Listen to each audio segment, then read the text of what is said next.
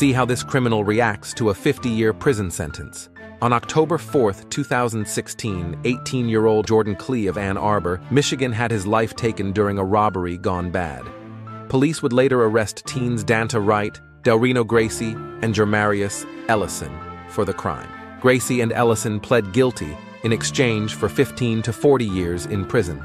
The triggerman Wright agreed to plead guilty in exchange for a 23 to 50 year prison sentence. This is how he acted at sentencing. Admitted killers caught on camera smiling during his sentencing. Wright addressed the court showing no remorse. I just want to tell y'all, I'll be home soon. R.I.P. Keon. I love my family. The judge was so enraged by his actions, he almost threw out the plea deal and forced the teen to go to trial. However, the Klee family was not in favor of a trial, so the judge stuck to the plea agreement.